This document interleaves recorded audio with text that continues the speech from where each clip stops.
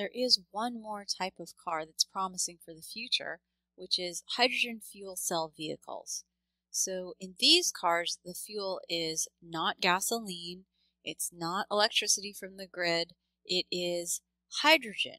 And so this is a reaction that is not a combustion reaction. So unlike the hydrocarbon combustion reactions, this is hydrogen fuel and it combines with oxygen atom and these oxygen uh, these oxygen molecules come from the atmosphere just like oxygen comes from the atmosphere in a combustion engine.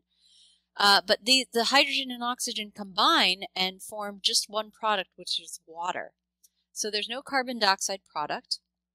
There's no air pollutants and uh, there's a lot of energy produced, enough energy to power the car.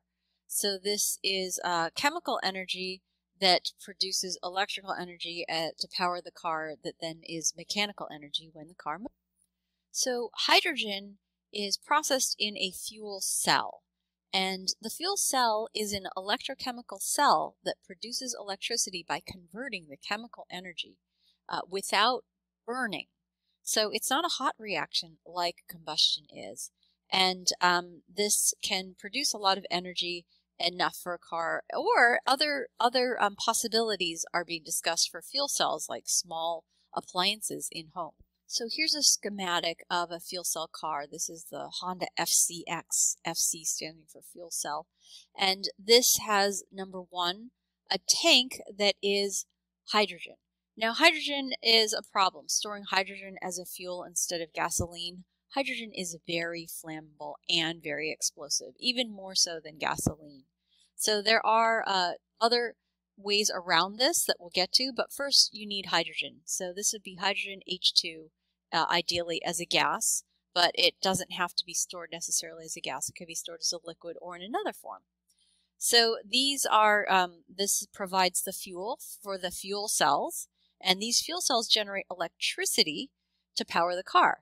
So this is um, electricity that is then stored uh, as portable, portable in a battery. So this is a lithium ion battery. Remember, lithium ion is rechargeable. Can be used, use the, ener- the chemical energy or then also replace the chemical energy and that can come from this electricity generated from the battery. So instead of having to plug it in, um, so this chemical energy becomes mechanical energy as this uh, is used to power the car. Uh, the electricity moves the car, moves the drivetrain, and that is movement, energy of motion, mechanical energy. A fuel cell is much like uh, the chemical batteries that we looked at earlier in this chapter. So a galvanic cell is electrochemistry. You have chemical energy being converted to electrical energy. And so this is a spontaneous reaction. It's a redox reaction that involves a transfer of electrons uh, because you have two different materials. And so what's different though is than a chemical battery. In a chemical battery, you have those metals or those two materials or the two substances are in the battery already. Okay. And so this is a storage of chemicals and it's why uh, the primary batteries go dead you use up the store of chemicals inside of the battery. Uh, this, though, a fuel cell is one in which you have the substances are constantly replaced. They're constantly supplied, and the reaction is um, a continuous reaction. So it's not stored chemicals, they're re replaced. Just like a car, you can um, have gasoline constantly added in. And so fuel cells, you have the fuel constantly added in. And that's the fuel, which is hydrogen. So it's a cross between a car with gasoline and a portable electronic um, type of battery. So this continually makes its own energy from the fuel cell. Okay, and this is going to involve uh, two half reactions because it's redox. So there's an oxidation half reaction that is the hydrogen gas, um, and hydrogen loses electrons and becomes hydrogen ions and electrons. There's a reduction half reaction in which oxygen gains electrons. And so oxygen uh, will gain electrons and form water as the only product. Comparing combustion engine cars versus hydrogen fuel cell is that you have different fuels for sure. So in a combustion engine, you have gasoline, which is a hydrocarbon. The hydrogen fuel cell, that's H2. H hydrogen gas is the fuel. But what's similar is they both use oxygen. This is O2 from, from the air. And uh, the products of combustion include the energy. Um, the carbon dioxide is the main product that we're concerned about. There's also some water, and uh, there's heat and heat. Uh, for the fu the fuel cell, the hydrogen, there's water is the only product, as I mentioned earlier, and electricity. There's a tiny amount of heat, but it's really a pretty uh, relatively cold, colder, cooler reaction compared to the combustion engine. So uh, this is higher, more efficient because you don't lose as much energy as heat. And this is um, generating electricity that then continues on. It is promising as either a fuel cell in a car or even to generate electricity for a small a small appliance in a home. And so a hydrogen economy it has been proposed is the idea of having hydrogen replacing fossil fuels, not just for cars, but for everything, for, for coal and methane, as well as petroleum. And so in just looking at the process of hydrogen gas, though, is the issue. So how do we get hydrogen? We can't pump it out of the ground. Currently, methane, which is natural gas, is used to produce hydrogen gas, and this requires energy. And so uh, we don't have hydrogen gas present on Earth. Unlike um, oil and coal and methane, hydrogen gas has to be produced. Okay.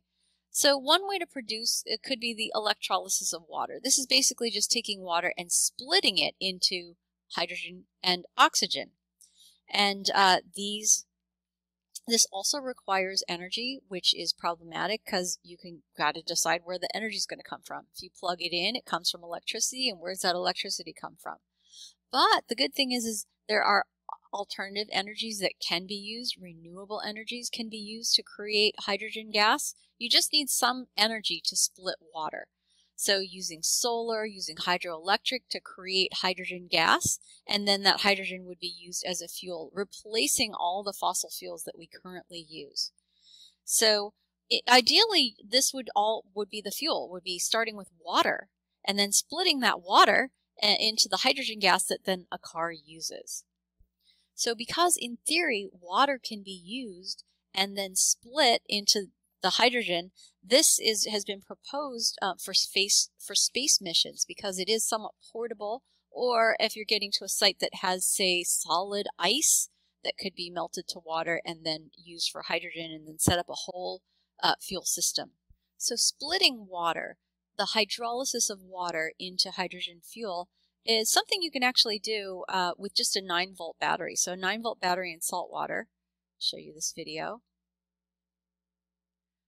has, you can see here, is the um, gas are those bubbles that are produced.